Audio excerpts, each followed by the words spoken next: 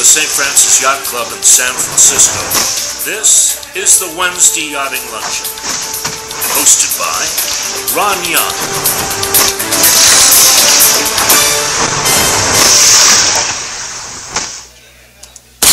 From the Welcome to the Wednesday Yachting Luncheon. Nice to have everyone here looking out our beautiful windows at San Francisco Bay. Great to be resuming live luncheons again. Uh, I want to acknowledge, as part of our live luncheons again, that it's fun to have great speakers, and it's even more fun to have great buddies who bring friends of the speakers or other, other knowledgeable parties to our talks. And one such is one of my dear, longtime, lifelong buddies, Ray Lent, staff commodore at San Francisco Yacht Club. Ray has brought several people today. Ray, would you uh, please stand up and introduce your table? It's my pleasure to introduce my people. Now you're on that, don't worry. White echo. Uh, and I'm on the other right shot, so we're very, very good. And, uh, a, uh, sit-off, settle, like a settle artist named North. Good. Okay. Uh, we don't have his mic, we'll have Aaron Horn. Give him a mic.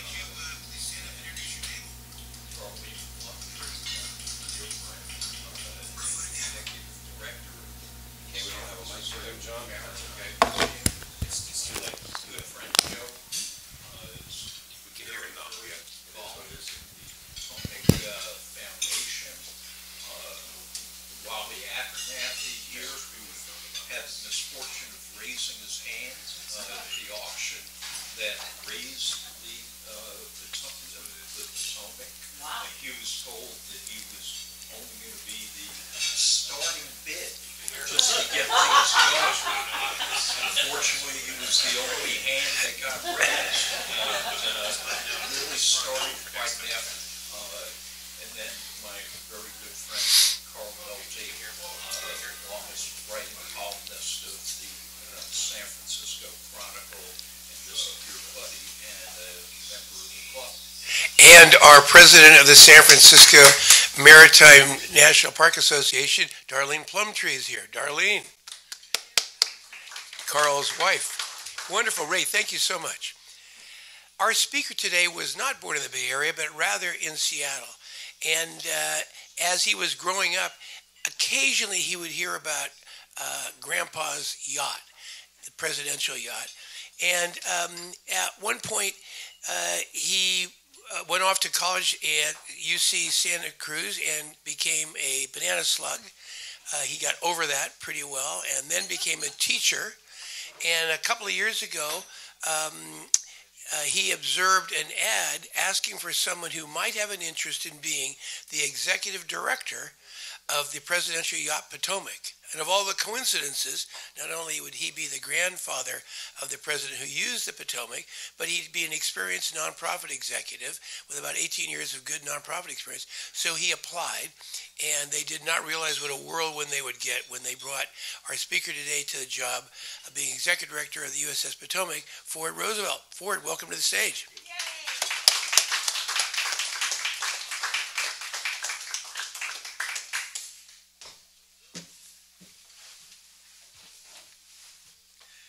Want to start by um, playing a video as an introduction that will tell the story of the USS Potomac in a very colorful way. And it's only about 12 minutes long or so, so bear with me while I figure out how to use um, this computer. There we go.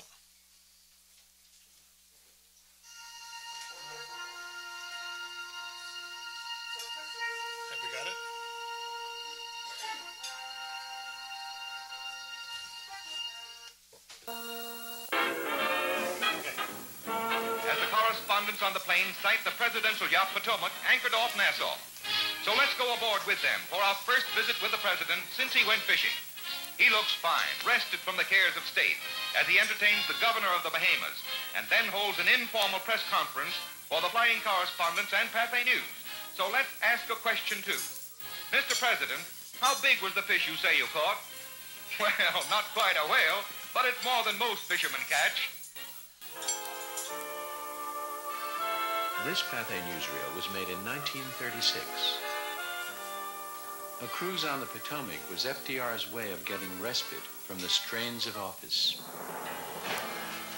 The 32nd President of the United States came to the White House in the midst of the Great Depression. Bread lines, veterans selling apples on street corners, people lining up for soup kitchens. In his first inaugural address, Roosevelt delivered a message of hope to the American people. Let me assert my firm belief that the only thing we have to fear is fear itself. This great nation will endure as it has endured, will revive and will prosper. Americans wanted action, and the new president supplied that action in his first 100 days in office. He proposed a flood of emergency legislation to deal with the crisis. The National Recovery Act, NRA, put some 4 million unemployed back to work. The Works Progress Administration, WPA, spent billions on flood control, slum clearance, student scholarships. The Civilian Conservation Corps, CCC, took unemployed young men off the city streets, two and a half million of them and put them to work preserving our forests and conserving our natural resources. The Congress passed virtually every bill the President submitted. Facing economic disaster, this confident man radiated zest and optimism. Roosevelt was a polio victim. He couldn't walk on his own, couldn't even stand without leg braces and a supporting arm. His options for recreation, escape from the pressures of the job, were limited. An especially appropriate solution was found. A Coast Guard cutter built in 1934 in Manitowoc, Wisconsin. The Navy fixed it up for presidential use, anchored it minutes away from the White House, and commissioned it the USS Potomac. The press immediately called it the Floating White House. It became a symbol of FDR's presidential style. Chin up, flags flying, on the move. Here, the president entertained world figures like the King and Queen of England. He twisted the arms of legislators. Or he just relaxed with family and close personal friends. FDR's eldest son, James, remembered these times fondly. James is on the right in this photo. It was really for the fun and entertainment of all of the boys being together with father in the water. We all love the water. We love sailing. The all-riveted ship suited the man and the times. It was not a rich man's yacht uh, by any manner of means. It reflected the Roosevelt family style. FDR's own stateroom was austere. No gold-plated fixtures in the presidential wash basin. The wicker furniture in the fantail section was simple but comfortable. The dining room modest and functional. A small between-the-decks elevator, hand-operated by rope and pulley, was built into this false stack. It allowed FDR to get from one part of the ship to another with relative ease. Jack Lynch, a Navy yeoman who served on the Potomac between 1940 and 41, described how the president would come aboard after his car pulled up to the gangway. He'd swing his legs out, he'd be helped a bit, he'd get right to the, right up against the the uh, brow coming over to the ship, and uh, grasp hold of it with both hands, and his legs were useless from polio. He couldn't use them. Because of that, he had exercised a lot and swam a lot, and he had very well-developed shoulder and chest muscles, and he could practically support his whole weight on his hands. The Potomac gave FDR an opportunity to escape from the dull menus of Mrs. Nesbitt, housekeeper at 1600 Pennsylvania Avenue. Father enjoyed the food outside of the White House anytime he could get it. Mrs. Nesbitt was very put out. The president loved to fish. He was lucky sometimes, and like an old fisherman, sometimes he wasn't. He didn't particularly care, I don't think. It was more just to be out and exercise. At the end of the day, FDR would wheel himself to his stateroom to read the messages from the radio room, look over his stamp collection, or work on a speech. The Potomac sailed mostly on Chesapeake Bay, but the president also had the ship ply the waters of the Atlantic coast and up the Hudson River to his Hyde Park home, 70 miles north of New York City. His dog Fala enjoyed these trips home, especially the rides in the president's hand-controlled Ford convertible. Fala went on most Potomac trips. Once, the Scotty was left behind in Newfoundland by mistake. Naturally, the ship went back to pick him up. Press loved it.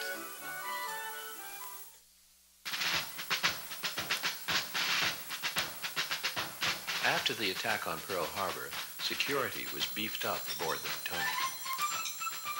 And we were heavily armed. We had uh, we didn't have Uzis in those days, but we had Thompson submachine guns. We had 45 uh, caliber Colts, and uh, we had uh, generous ammunition allowance. We used to practice all the time, go to ranges on the beach and practice. The Potomac carried the president part of the way to a secret meeting at sea. He went openly as far as Cape Cod, Massachusetts. Then he was transferred to an American battleship, proceeding through submarine-infested waters to meet Winston Churchill, Prime Minister of Great Britain. There, the two men forged the Atlantic Charter, which eventually led to the Allied victory over Nazi Germany in 1945. After FDR died, President Truman sold the Potomac. During the next three decades, it changed hands several times. One of her owners, Elvis Presley, gave the yacht to entertainer Danny Thomas for a St. Jude's Hospital fundraiser. The once cherished vessel declined after that. In 1980, it was seized by U.S. Customs during a drug running operation in San Francisco. Impounded at Treasure Island, her hull was pierced one night, and she sank to the bottom of the bay. U.S. Customs raised the ship and towed her to Oakland for auction. The Port of Oakland got her for $15,000, unadorned and rotting. There were no other bidders. When James Roosevelt learned of the sorry state of the Potomac, he flew to Washington from his home in Southern California and asked President Reagan for a matching grant of $2 million to restore the Potomac. Despite budgetary limits, the president upped the figure to 2.5 million and persuaded Congress to approve the grant. The Potomac resided on the banks of the estuary while fundraising, design, and planning took place. Seven years passed before the restoration literally got off the ground. In July 1988, a crane lifted the Potomac onto a barge. Destination? The Colberg Shipyard in Stockton, California. Using the original blueprints, shipyard owner Wilton Colberg tackled the enormous project, assisted by a team of first-class craftsmen. Engineer Jim Arrow was surprised to discover that the Potomac's basic structure was sound. I have not yet found a bad rivet on the Potomac from the original hull of the ship. Just absolutely super.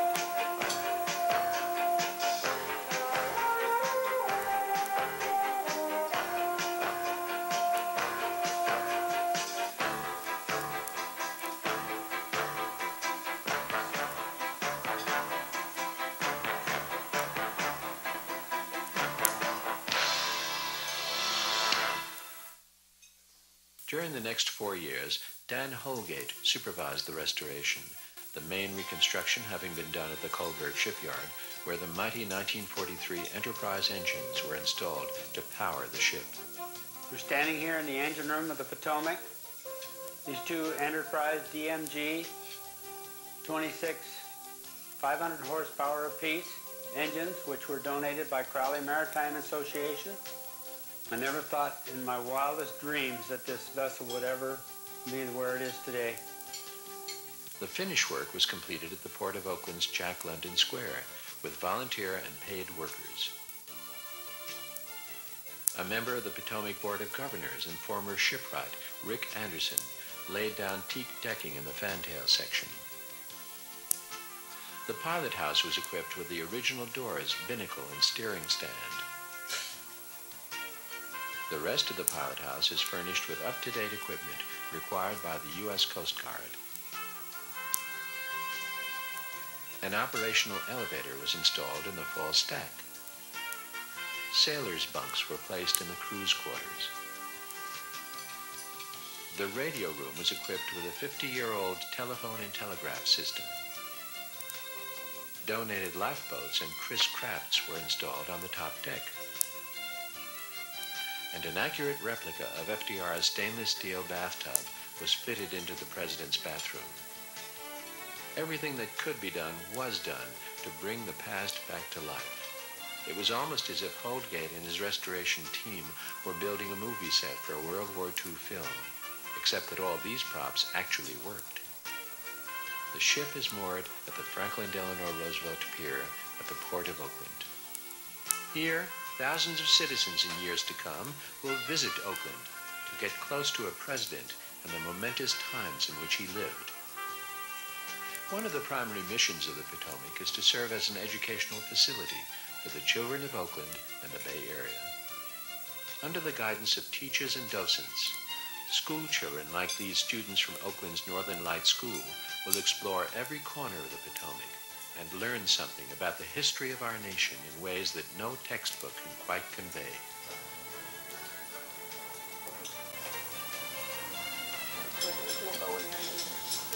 Okay, will we all gather here for a second? was really over here rather than back there. And that's where food was served from. It was cooked in the galley up above.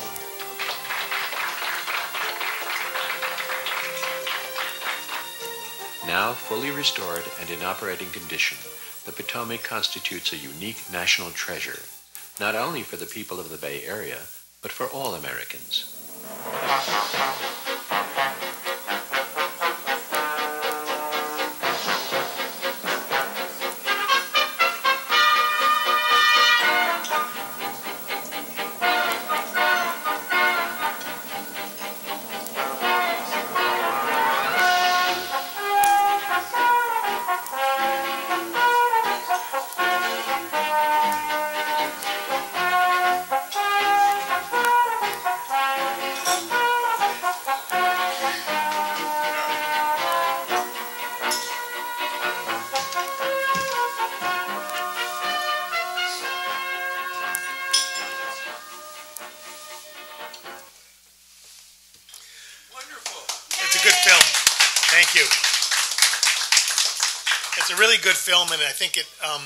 From my perspective, it tells a very good story.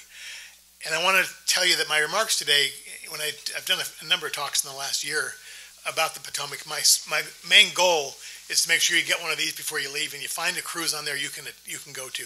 How many of you have been on the Potomac on a cruise? Okay, about half, more or less.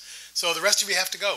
It's a remarkable experience, and you'll tell stories about it for quite some time afterwards. And I think that that's what I've sort of devolved into is a storyteller about, about my grandparents, about Franklin and Eleanor, about my dad, Elliott, and sort of the frame of reference of what this ship means to me and why. Um, let me correct a couple things. I, up until a couple months ago, I was the executive director. I moved up here from Southern California with my wife to take on that role as executive director somewhere around late December or January of this year.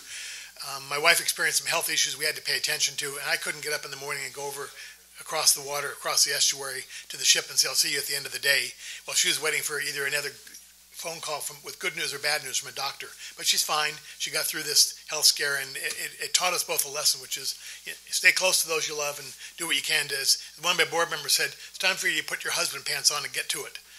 So thank you, Dennis. Um, but I've stayed involved with the Potomac. We have a person who took my place, Jennifer, who's wonderful.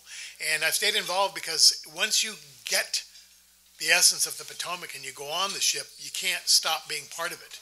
Which is when you when you heard there are volunteers, they care for the ship and, and keep it spotless and clean. And our docents, volunteer docents, when the when the ship goes out, they're all there because of the love for the ship, and it's it's a remarkable experience. I'm certainly taking names today of anybody that wants to volunteer and be a docent on the ship. Um, and I, I, I, would I would fail in my duty as a representative of the, of the Potomac if I didn't mention it's all Wally's fault that I'm here. If he hadn't put up his hand to get the ship and save it, I wouldn't be here today. So again, Wally, thank you publicly, and it means a lot. And the other role that Wally plays for me, I've learned recently, in one of my talks I gave a couple months ago, is I always need a fact checker when I'm out there doing these talks. I might get some of the timelines off a little bit. It's all about the story. And I hope I can convey that to you today in the story. So let me frame it in the history of my family and my dad, Elliott. Elliott sits right smack in the middle of the children of Franklin and Eleanor Roosevelt.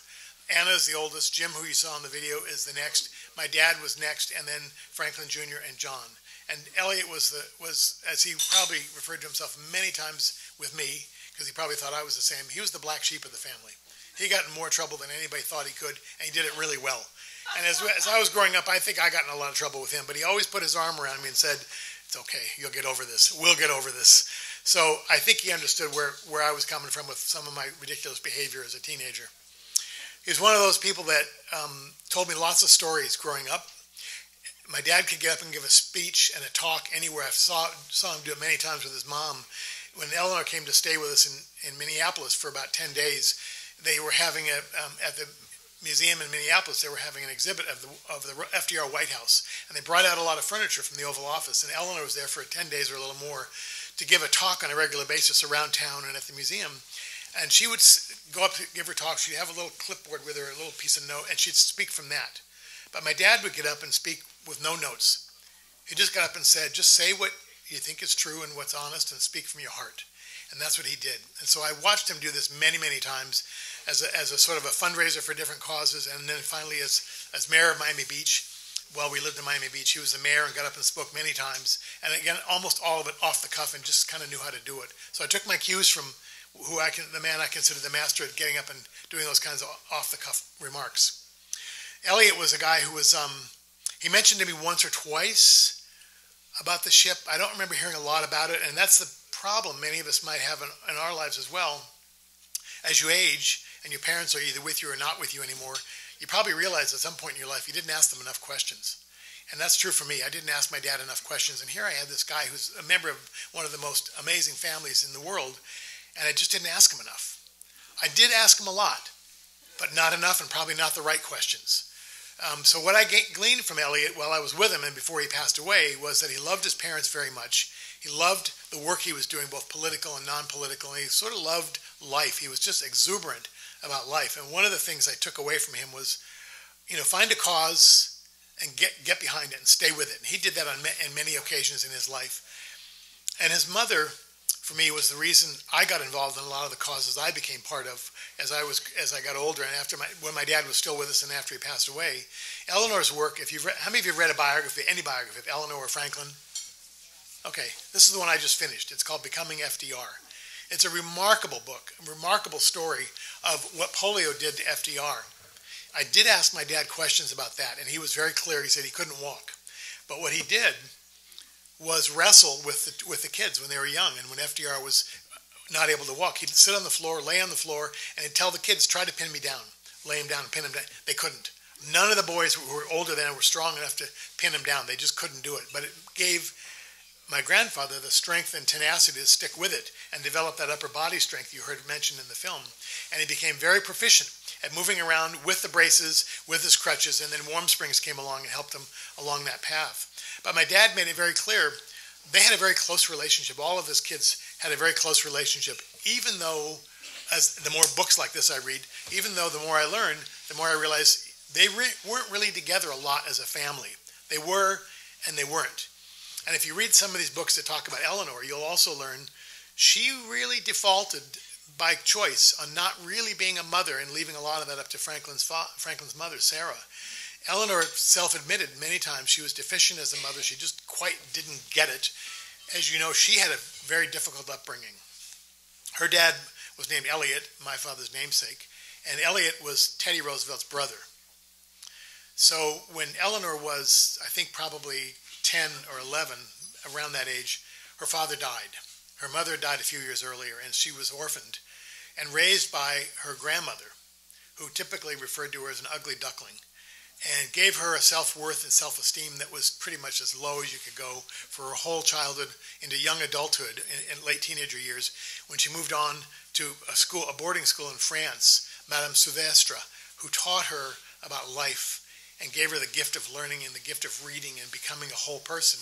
And she came back from that experience and was a changed woman, changed young woman, really remarkable, and became socially active, socially engaged, and was involved in so many progressive causes that as her husband, as FDR became president, he asked her to be his eyes and ears around the country, around the world. So she traveled all over the place. One of the most disturbing images of her traveling that I saw was when she came to Los Angeles during the internment of the Japanese citizens, which she detested. And she begged FDR to not go ahead with it, and he did. But she came to Los Angeles to go visit a, a, couple of homes where people were being taken out of their homes and try to do something to comfort them and tell them they'll be okay. No harm will come to them other than the disgusting thing that was happening. And she, one of the pictures is of her coming out of a house, arm in arm, with a couple, Japanese couple. And the LA Times printed the picture the next day on the front page. It said, Eleanor, go home. And it's just sort of like, how did she, how did she put up with this stuff? Well, she had the tenacity and the fortitude and the will to change the world. And I think she did. She later was seen in coming out of the coal mines in Kentucky. She went down there. I just read this in this book, I think, or another good book I'm reading called Eleanor in the Village, which is a really good one to take note of. She was told she she had a, a very close friend, and I may get the question later as to her women friends. One of her friends, Lorena Hickok, nicknamed Hick, was a reporter. And Hick traveled while FDR was president. He traveled, she traveled to Kentucky to see the living conditions of people there that FDR had not yet seen. He'd, he'd seen what was in Warm Springs, Georgia, and he traveled around that area a lot. But in Kentucky, it was uniquely different. And, he, and so Hick said to Eleanor, "You need to come down here, dear, and see this, see what's going on." So Eleanor went out and told the, the police officer that was her guard, I'm taking my car, she had her own car, and I'm driving to Kentucky, and no, you don't need to go with me, I'm doing it alone. And she drove down to Kentucky by herself as First Lady to tour the mines and see the living conditions there.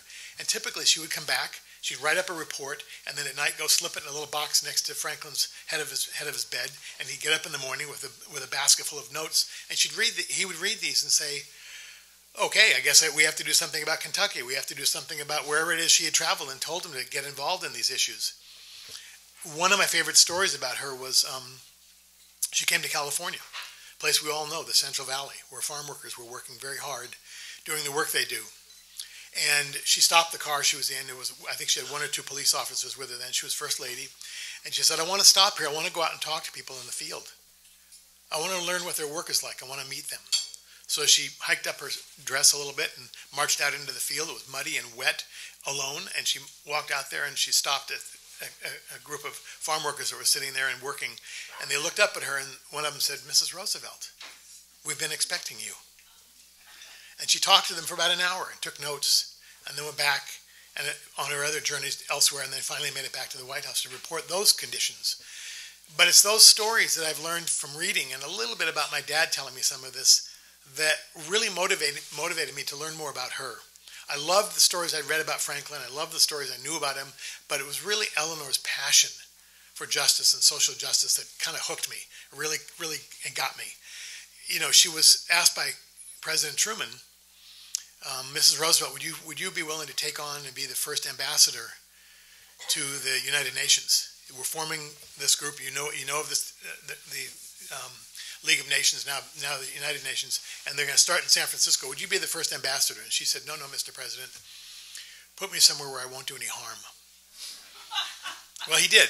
He put her in charge of the group that was putting together the articles of the Universal Declaration of Human Rights. 32 articles in that document that have been have been laid out. They've been, they've been um, adopted by the UN but not ratified as law. So they are, they exist now as a template for countries all over the world to use as a way to frame their own constitutions, their own ways of living and ways of treating each other. And it's a remarkable document.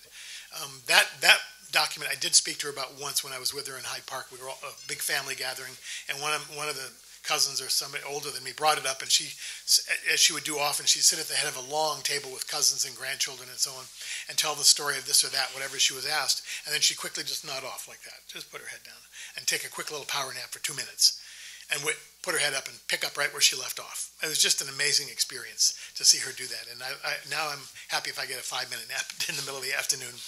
But she was sort of that dynamic, um, dynamic engine that said, I'm going to do this and we're going to do this together and you have no excuse but to be involved in it. You have to be. And I know she told that to my dad many times because he told me many stories of her urging him to do the kinds of things. But in all of those stories, in all the stories with my dad, none of them really focused on the Potomac. So I know, only knew of it briefly from one or two things and times he mentioned it. He was a, my dad had a, we had a Chris Craft um, a cabin cruiser in Miami Beach when we lived there, right on, right on Biscayne Bay and we went all over the all over the bay, and it went all, all the way down to the Keys. And it, he was a terrible pilot of the of the ship. He ran aground all the time, but we had a blast.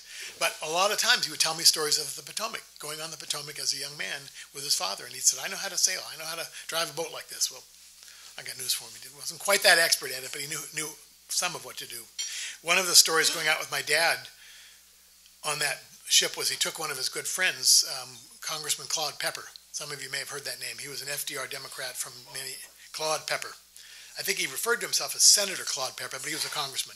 Really wonderful guy. He went on a bunch of a bunch of those sailings with my dad fishing, and I was on the boat one time with my sister and my dad and my mom and uh, Claude Pepper, and we're, we're down somewhere in the Keys, and we just about run aground, but we averted it, and we're, we so threw down the anchor, and my dad said, "Okay, everybody wants to swim, jump in."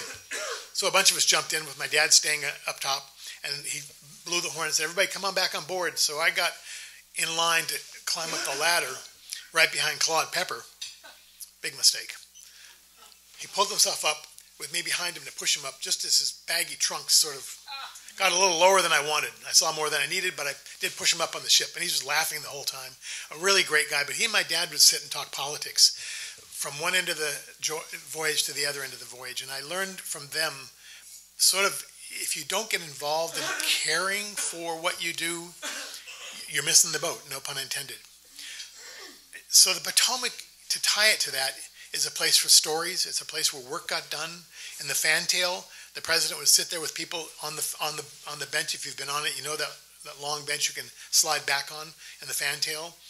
That was set up in a way for FDR to pull himself back and push himself back with his braces on, with his legs out straight, and everybody sitting next to him it was in the same position.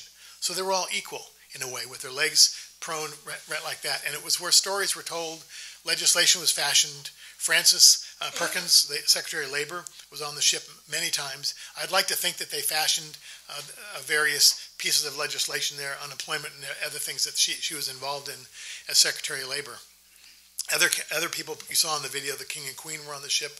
My dad had been on the ship many times, but it was again a place of both stories of relaxation. It was sort of, I guess, for FDR, a floating Camp David, where he got to let go of the pressures of the presidency, let go of the pressures of his family, because that was a lot of pressure on him as well, and go fishing. And as he says, you know, something caught a fish that big or not.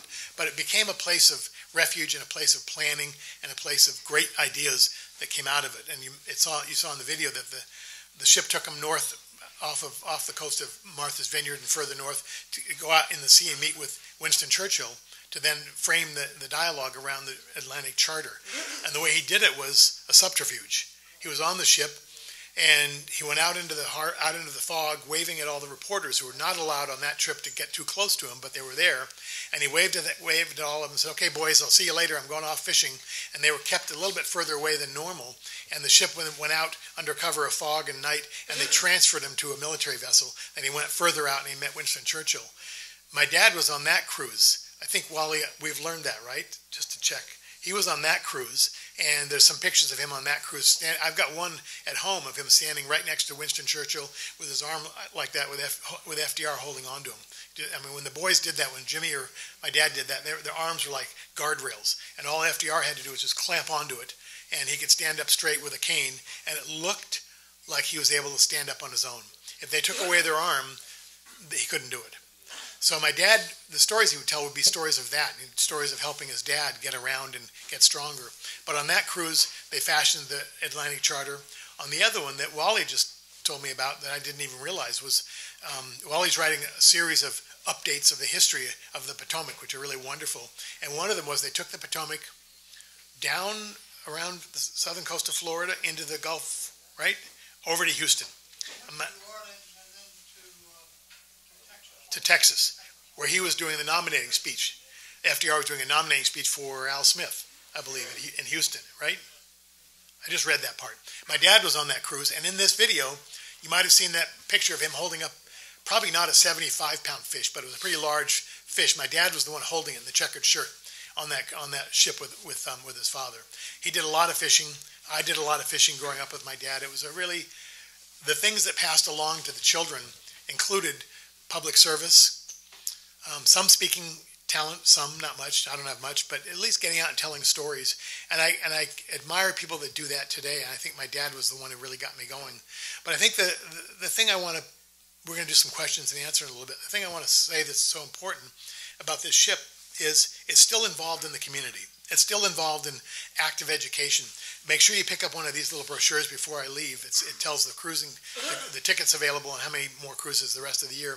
And one of the things we're starting to do fairly soon, I have to work out some details. We applied for and received a grant from the West Oakland Job Resource Center. And it's an organization that's in West Oakland, and they work with youth that are at great risk out of the system for whatever reason. They might have just come out of the juvenile justice system. They might be high school dropouts.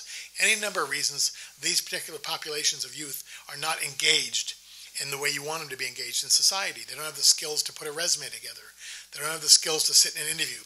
So the Job Resource Training Center approached me back in June of not this year, last year when I was first up here, and they were at a ship right next to the Potomac, and they were talking to me, and I was wearing my Potomac hat, and they said, "What do you have to do with that ship over there?" I told them, and they said, "We've never been on it."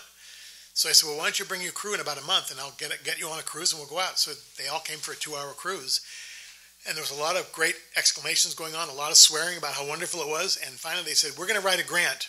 It's a federal grant and a state grant, and we want to put you in it as a training opportunity. We're not sure where it will go, but we got it. It's a little over $400,000 to do work with youth in the whole West Oakland area. Well, what we're struggling with, and this is where I need some help from people in the room, we need to find people who are really knowledgeable of the maritime industry, knowledgeable and comfortable getting up in front of students like this in a classroom. We're going to try to get the classroom from the Port of Oakland and do a lot of classroom time with the, with the students and then take them out on the ship to go out and have experience on the water, not to get certified in any way. We don't, we can't do enough of that with the students to get them certified by being on the Potomac. But what I said earlier, if you can't see it, you can't be it. So we want them to see the bay, we want them to see the maritime industry, we want them to experience that and think outside the box they're normally thinking, which might be constrictive for many reasons. So we want to open eyes and have students get grasp this concept of I can do that. If I can see it, I can be that. So go buy the container ships, go buy the ferry boats, go buy all the places you can see when they're on the Potomac, and then go back to the classroom setting a day or two later and start learning how to put together a story about yourself or a resume and so on. So I need volunteers. Somebody said to me the other day I should find some retired Coast Guard people who could help me with that and that might be worth. I have I don't I have one contact over where I live in Alameda, and she's in the Coast Guard now on Coast Guard Island. So I'm asking her to help. She's going on the ship this weekend, so she'll get that experience and see it. So I say that because the Potomac is the vessel to do this. It's an it's envisioning FDR's alphabet programs from from from the New Deal. It's looking at ways you can take people who are maybe disenfranchised, as a third of the country were during the Depression, and giving them another reason for hope to get over fear and get engaged and be part of the community. And if we can do that for the next two years as part of this grant, using the Potomac as the vessel to get people engaged, it's a win for everybody. It's a win for the entire community where I now live, for this community, and it's a win for hundreds and hundreds of students and young people that really need that boost. And if we can do that, I'll be really proud of FDR's legacy continuing today. So I think we're going to take some questions. I'll stop there. I'm sure there's other things I could talk about, but thank you.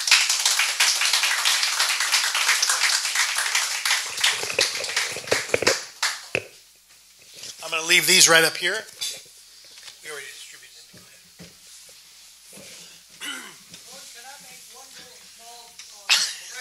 That's why you're here, Wally. Wally Abernathy wants to make the guy who originally bid. We've given you a mic, Wally. Um, there's there's a there's a misimpression on that uh, on that uh, video about the role of President Reagan. Um, the outcome is the same. We got the grant of two and a half million, but it was a little more tortured path than that. Uh, Reagan wasn't quite the advocate that the, that the film uh, presents. We had, when we were starting the restoration, we had um, looked out for federal money, and we'd when we'd gone to Vic Fazio, who was the congressman from the Sacramento area who was on appropriations committee, to put in a special earmark appropriation for two and a half million for the Potomac, and Vic put that in. And that bill was moving along through Congress when the worst thing in possibly that could happen is that the New York Times got a hold of it. And they had a front page story about this Christmas tree bill that was going through Congress at this time of fiscal responsibility under Reagan that had on it ornaments and had named some project on the East Coast and then the the U.S. Potomac on the West Coast, which was the last thing in the world that we wanted to have attention brought to.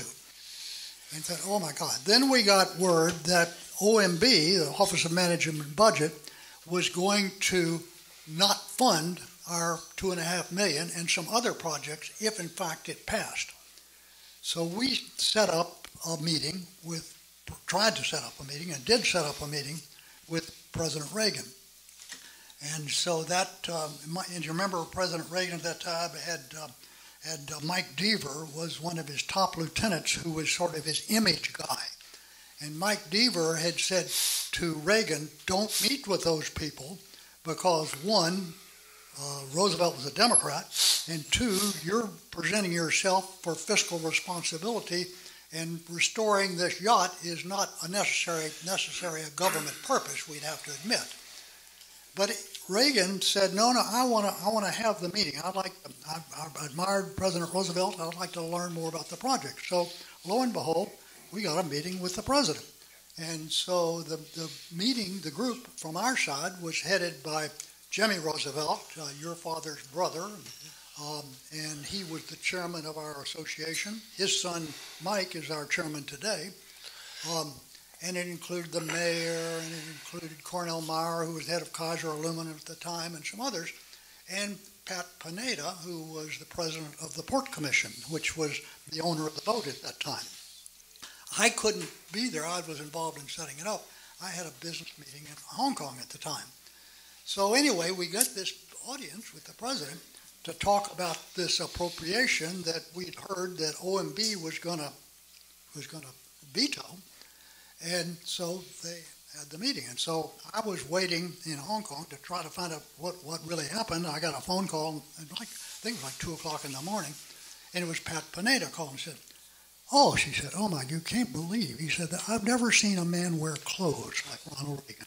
he is the most well dressed man I've ever seen in my life. He's just unbelievable. I said, well, how did the meeting go? I said, well, they, Jimmy, Jimmy was a charming, charming guy.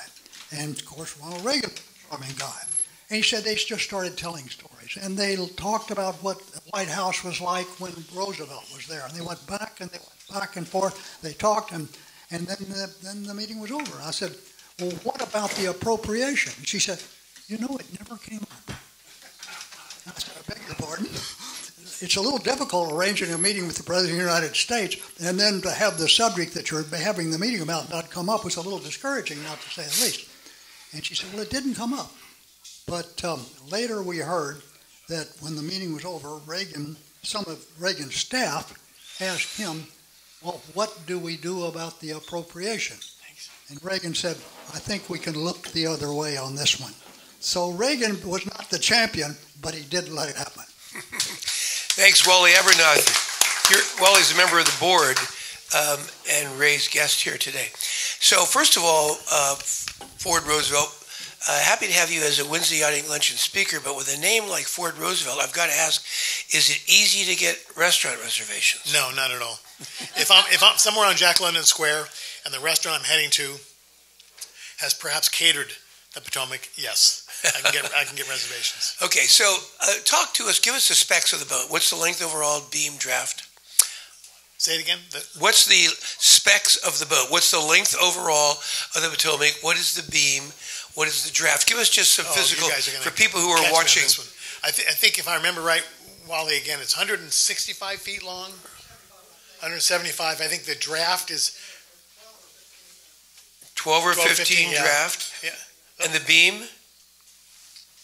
175 by, um, uh, it's a narrow boat, it's a fast-looking It's boat. a, it's a narrow boat. It's, it seems fast when you're on it, but it's not as fast as some of these, not as fast as the sailboats you're used to seeing here. Not at all. So what is the cruising speed when you, when you tool around on I a think, tour? I think it's maybe 15 miles per hour as a landlubber. Is that right?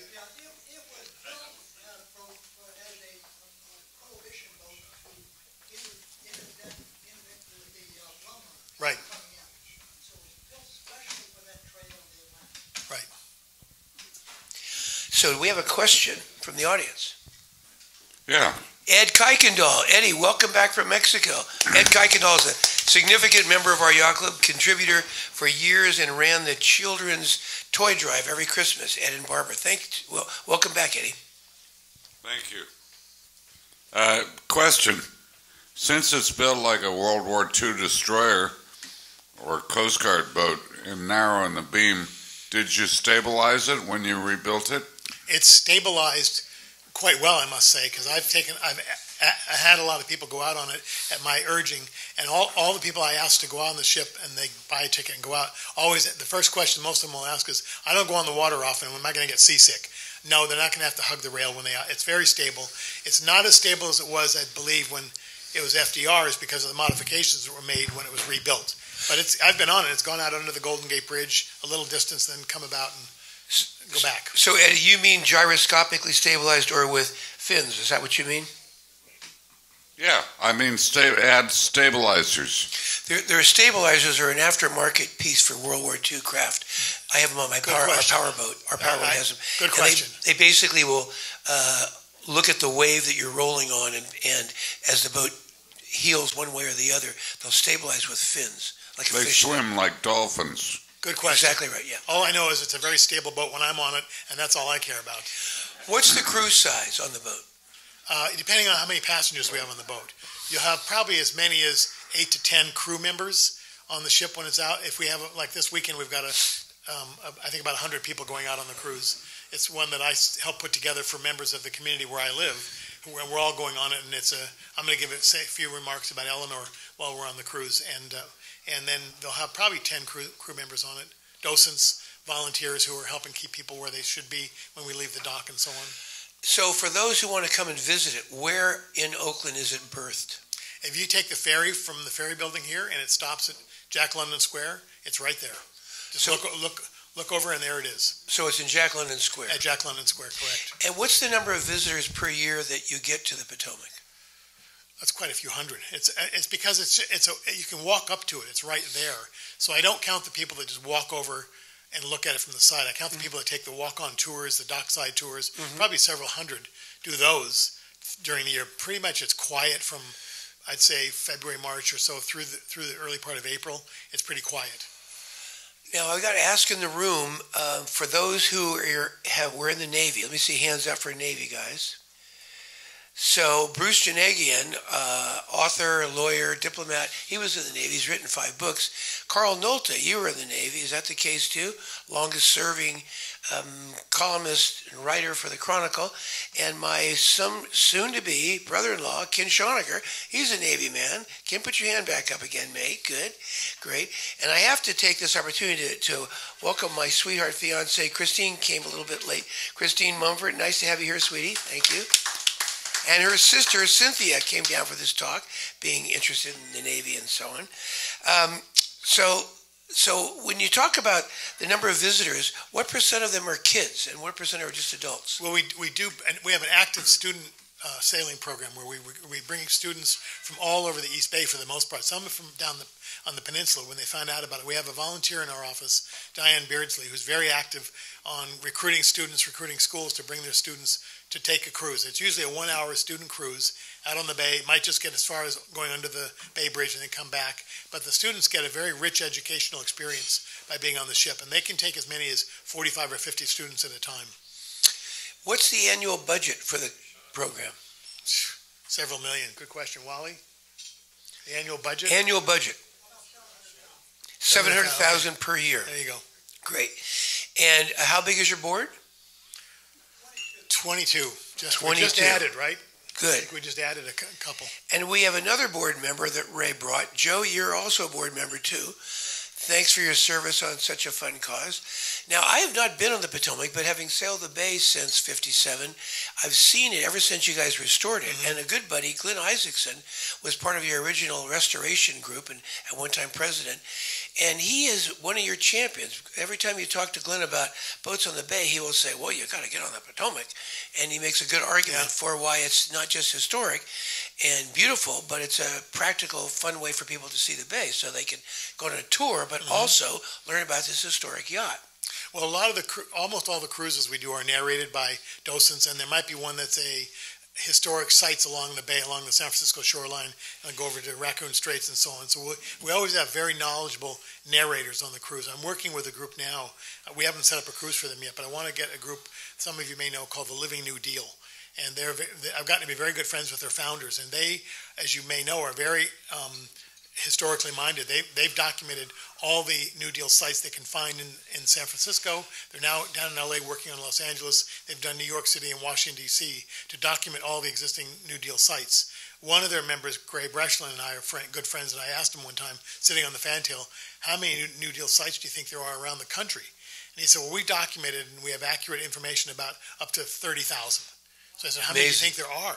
Several hundred thousand Amazing, that, were, yeah. that are there because of the New Deal, whether it's a post office, whether it's a building, a- school door, any number of things. So we want to do a cruise with them, narrating what do you see around the Bay Area when we cruise that are New Deal sites. Mm-hmm. The the um, Coit Tower has all the murals in there, all New Deal.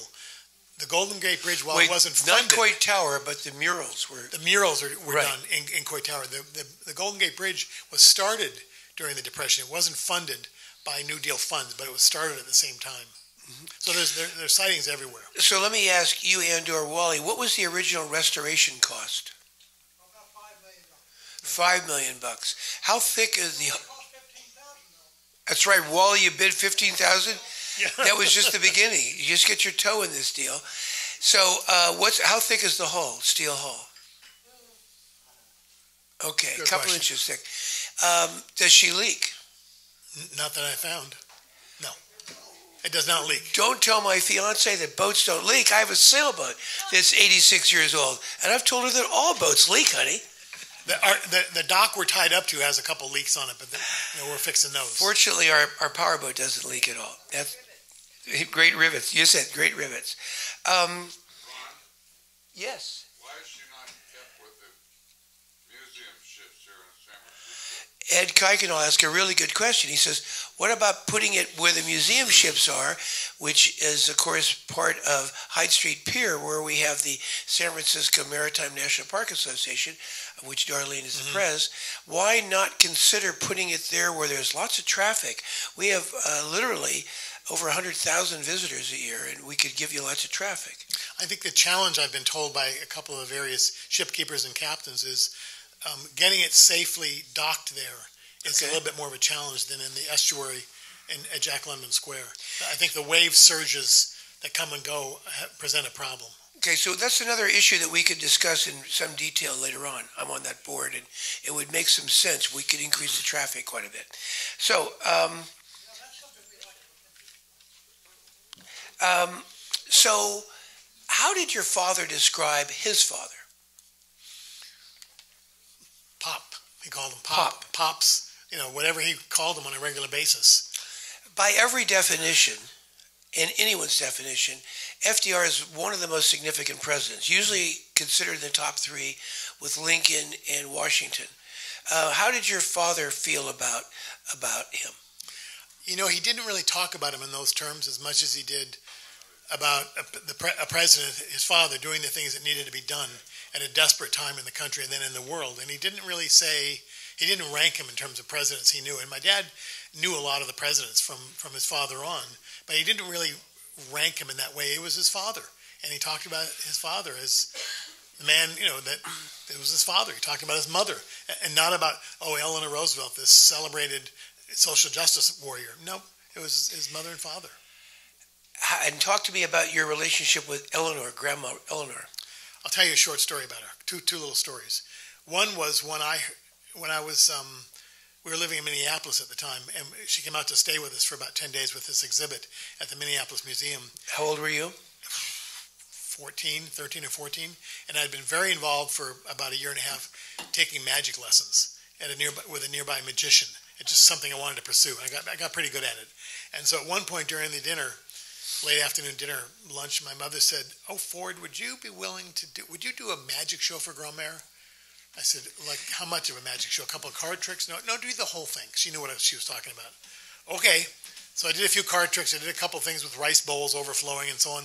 And then I said, okay, Grand-Mère, this is the one that's kind of tricky. I'm going to do this, though. And I called my younger brother David out, who was four years old then.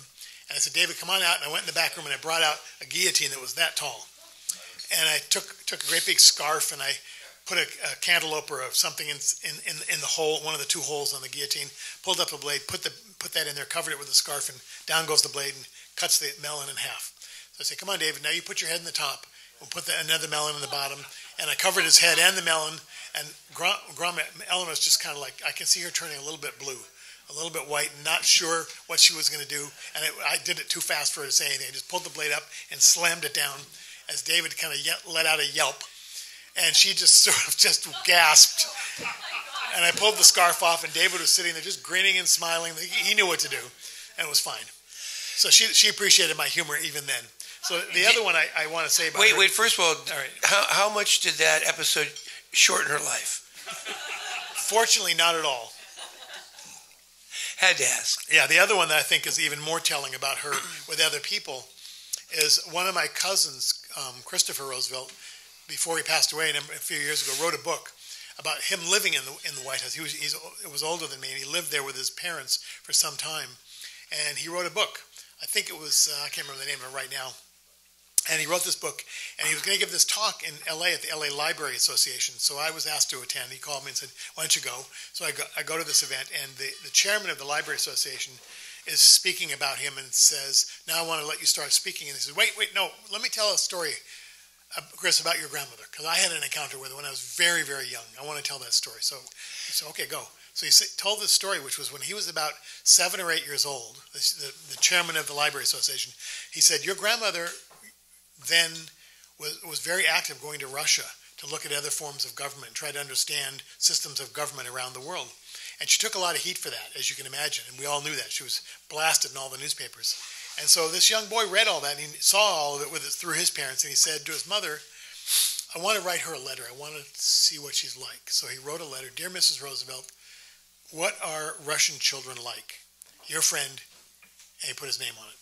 And he sent the letter to Mrs. Eleanor Roosevelt, Hyde Park, New York. Off it went. About a month later, he gets a letter back. He opens up the letter and said, Dear Tom, Thomas, just like you, your friend Eleanor so I, I like the story because what it says to me was she was like that. She was extraordinarily ordinary in her own way.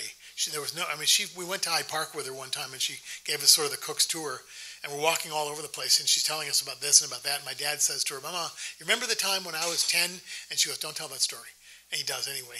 Well, he apparently climbed out on the ledge of the third story window where he was, where his bedroom was, crawled along the ledge to his sister Anna's window and banged on the window in the middle of the night to scare her, and then scooted back into his bedroom. Just you know, he was he was the black sheep of the family. So his mother said, "Don't." T- don't he did tell the story in front of his own children. Not that I had any ideas to do it, but you know, there was a sense of their banter together was typical mom and kid. It was mm-hmm. the same she was pretty impressive, amazing person for me as a young guy in uh, when I was in my late 20s and uh, head of all the marketing for CVS, the big drugstore chain, I went down in with my chest pulled out like this. I thought I'd meet with Ellen. I would meet with uh, Margaret Mead, and I met with her and said, "We'd like you to run for president." And She said, "Oh no, no, I'm not a politician. Uh, no, no, no." She said, "I'm not the right person." I said, "No, that's the line we would use. Uh, you know, Margaret Mead for president, not a politician." She said, "Oh no, Eleanor and I talked about that years ago." yeah. And I just about melted the notion of Eleanor Roosevelt. She said. She had it right. Eleanor said, "You don't compromise. I don't compromise. We would not be good as politicians." No, neither one of them would have been. That's right, and that that was her, her but my premise. but my grandmother was a politician in her own way. She was very very active. Louis Howe, FDR's closest advisor, mm-hmm. took her and taught her how to modulate her voice and how to speak and how to engage with people. So for years, she was out on the circuit all over the country, raising funds for the Democratic Party, raising issues for the Democratic Party, and actively getting women involved in politics. And so, in a way, she was a very active politician. Also, uh, Wally mentioned earlier that Reagan wasn't a giant champion, but he did permit the funding of the Potomac to begin with. Of course, in FDR's day, Ronald Reagan was a Democrat. We will all recall. He voted four times for him. That's right, exactly. And he converted to be a Republican before he Well, ran for everybody makes mistakes. So, um, when you when you think about the case for FDR being a great president, what are the accomplishments that give you uh, the evidence that he wa- was a great president? I think that, well, clearly navigating, navigating the waters of World War II as commander in chief is, is pretty critical.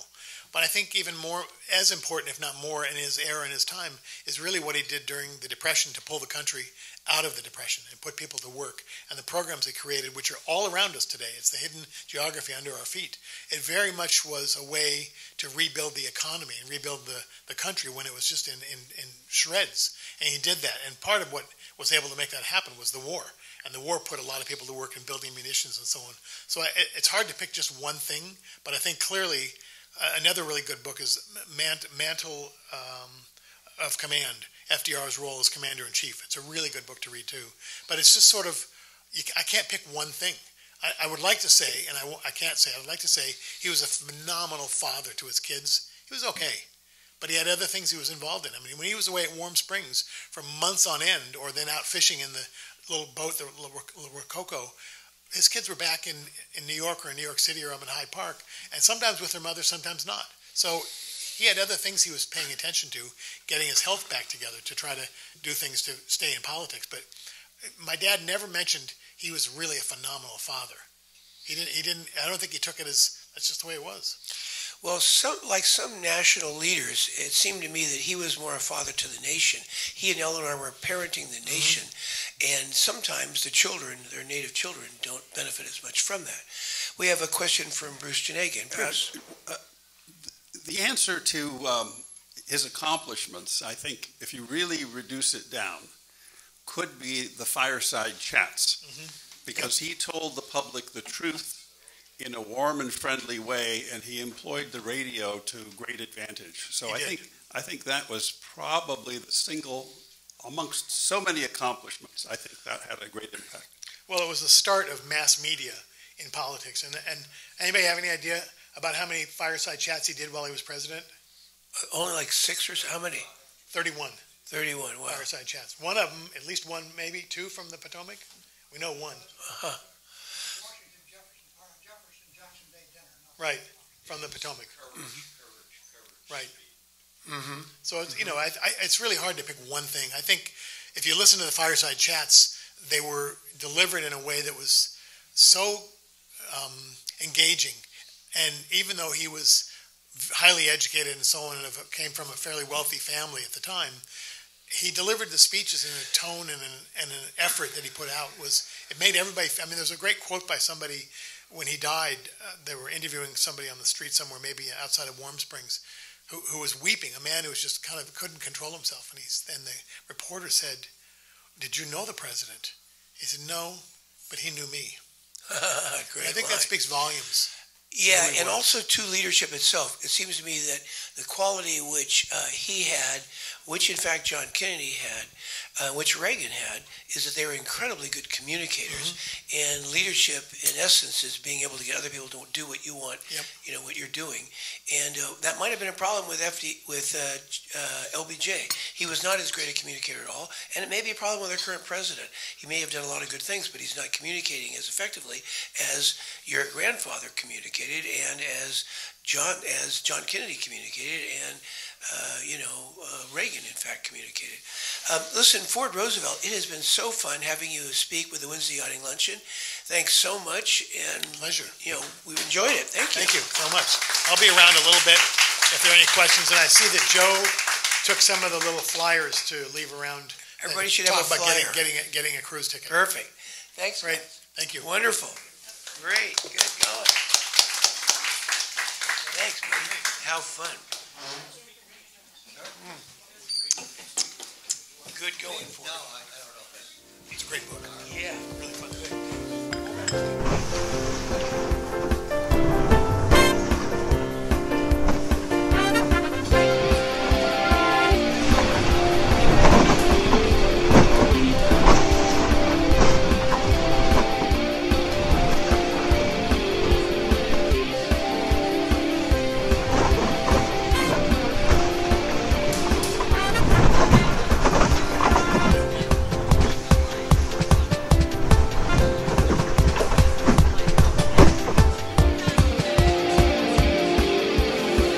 This has been a presentation of the Wednesday Yachting Luncheon